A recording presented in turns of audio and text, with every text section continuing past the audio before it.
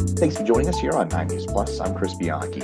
Now, when you think of NASA, you're probably thinking astronauts, space, but you might not realize that NASA is also home to the largest group of Earth scientists in the entire world. And with more than 25 satellites in orbit, NASA tracks critical changes all over the globe.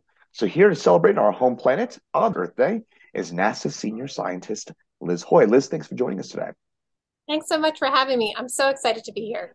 Oh, it's a pleasure to have you. And of course, this year marks the 53rd celebration of Earth Day. Can you share some of what we're learning about our planet, especially of late? Yeah, you know, when when people think about NASA, they often think about rockets going up to the moon or to Mars, but we really do. We have so many satellites that are looking back at the Earth.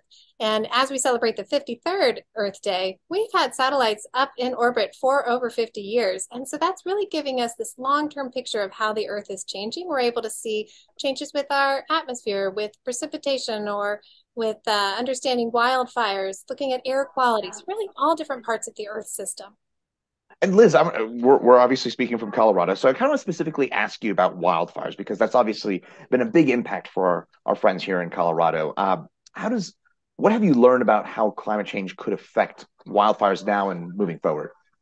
Yeah, I, I'm really glad to talk about this, and it is something that's very important to me too. Wildfires is what I've been studying at NASA, and NASA has satellites that are looking at understanding where wildfires are, when they happen, how large they are, how, what the intensity is. And we really are seeing we're seeing wildfires that start earlier in their growing season and last longer as, as the climate is changing. Just we have these drier conditions, so this fuel is more available to burn. One thing that's really encouraging, though, is that we can get the information to land managers very quickly. When we have these satellites overpass, we learn about a wildfire.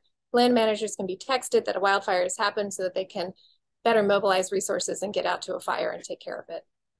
And that's certainly a huge service. It's something that I know has come into play within the last couple of years. Uh, we've also, this past winter here in Colorado, we saw some pretty stark snowfall amounts here in the southwestern part of the state. I know California had a crazy snow season as well.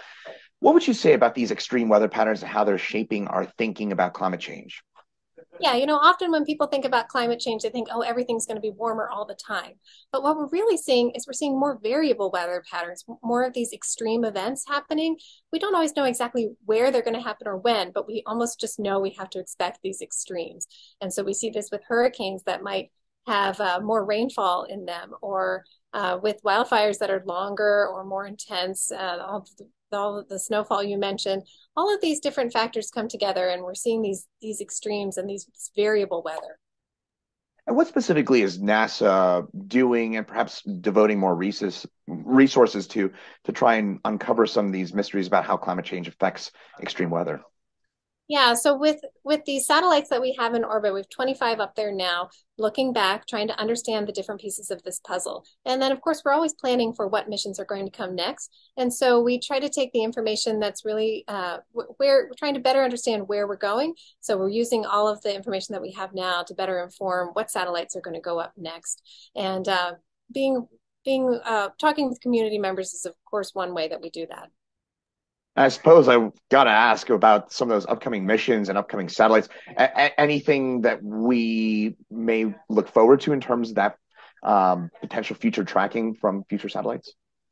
You know, it takes so long for satellites to come online that this, this planning process can take many, many years. But we're we're really trying to make sure that as we're looking back at Earth, we are being sensitive to what is happening with our climate, what's happening with our environment, and understanding different parts of it. One new satellite we had go up this year is called Tempo, where we're looking at air quality across the United States. And so this satellite is just focusing on the United States, looking at where we're seeing air quality changes throughout the day and throughout the season. So we can see when people are driving to work and back. We can see uh, what's happening in urban areas. And of course, this has big implications for human health. If you think about respiratory issues with poor air quality or, uh, you know, perhaps heart issues or other kind of health impacts from air quality. So really trying to understand that right now too.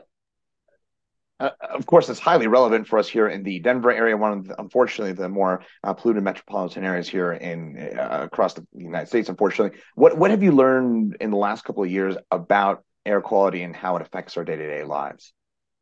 Yeah, we're really seeing these changes as people drive to and from work. We're we're able to look at how the air quality is changing and where we see spikes in, in poor air quality uh, throughout the day and even really throughout the season. So as the summer comes, of course, you're going to get more of these heat island effects and more urban, um, more urban areas might have uh, poor air quality problems. And so we're really also, we're also able to even track, as you talked about wildfires in your region, we're able to track where wildfires are occurring and the smoke plumes from that those wildfires and how they Im- influence air quality. So we're able to, that, that smoke can travel thousands of miles. We're able to see that with our satellite imagery so we can better uh, prepare communities or even help to just understand what's happened in communities as wildfires have burned obviously hugely important and helpful to us here in Colorado.